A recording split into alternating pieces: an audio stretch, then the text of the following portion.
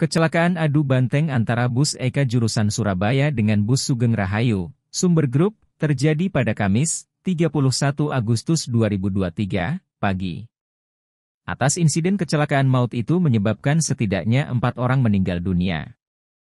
Keadaan kedua bus pun mengalami ringsek parah. Inilah penampakan dari kedua bus yang mengalami kecelakaan adu banteng sekira pukul 5 waktu Indonesia Barat. Tampak bus Sugeng Rahayu mengalami kerusakan paling parah.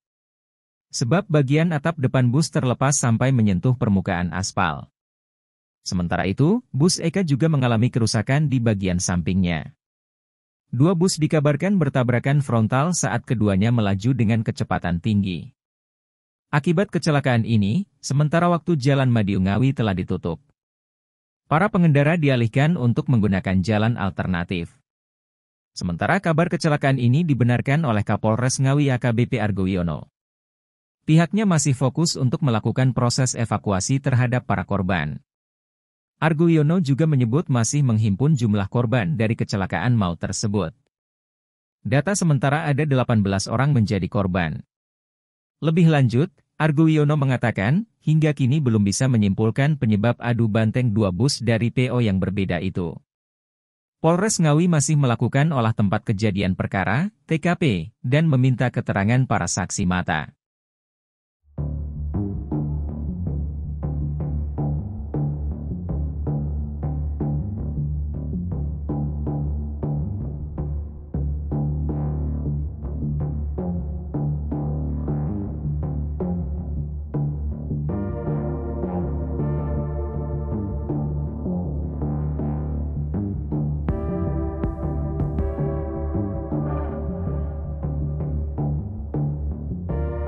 Terima kasih sudah nonton.